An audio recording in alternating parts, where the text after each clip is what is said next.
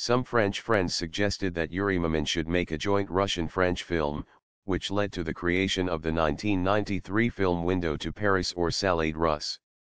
The film starts with residents of a St. Petersburg communal apartment of 1990s finding a window hidden behind a cupboard that leads to a mansard roof and shows the effect of this discovery. The film is a grotesque prediction of the effect of fall of the Iron Curtain on the life in Europe, about the invasion of Russian demoralized businessmen and the humiliation of the intelligentsia in Russia. At the end of the film, the main character, Nikolai Chizhov, a school music teacher and a member of the Russian intelligentsia, gives a persuasive speech to the children, who have decided to remain in Paris. In his words, you were born in a terrible time in a poor, devastated country. But it is your country, after all. Don't you want to make it better?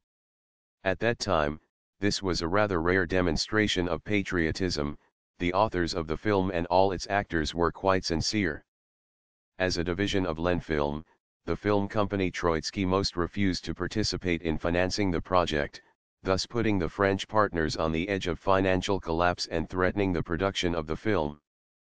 Because of this situation, Yuri Mamin was urged to establish his own film company in order to attract support from commercial businesses that were thriving in post-perestroika Russia. That is how Yuri Mamin's Fountain Fund for Support and Development of Cinematography was created. It was this in particular that facilitated financing for the film Window to Paris from the French fund CNC. The comedy Window to Paris attained such success in France and at the Berlin Film Festival that Michael Barker, the CEO president of the American distribution company Sony Pictures Classics, arranged for the film to be released in the United States, and twice requested Goskino to submit the film Window to Paris for the 1994 Academy Award for Best Foreign Language Film. Barker wrote, the response to the film at screenings in Los Angeles and New York has been terrific with both the critics and the audiences.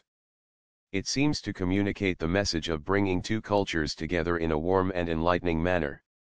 Should Salade Russe be the official Russian entry to the Academy for the Best Foreign Film Academy Award, we feel confident the picture will not only be nominated for the award, but has a very good chance to ultimately win the award itself.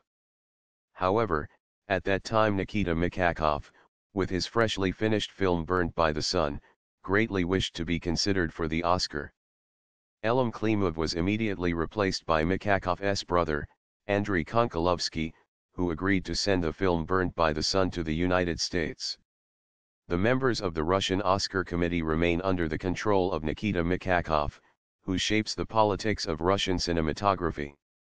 Therefore, in Mamin's opinion, neither the best nor the most talented films are being submitted to the American Film Academy, but rather the ones created by Mikhalkov's favorite artists. The idea of a mystical window, a dimensional portal between Russia and Paris, came to the mind of the Moscow screenwriter Felix Mironer long before Gorbachev's perestroika. He told this idea to the filmmaker Alexei German, who sold it 20 years later to Arkady Tigai, Yuri Mamin author, for a bottle of cognac.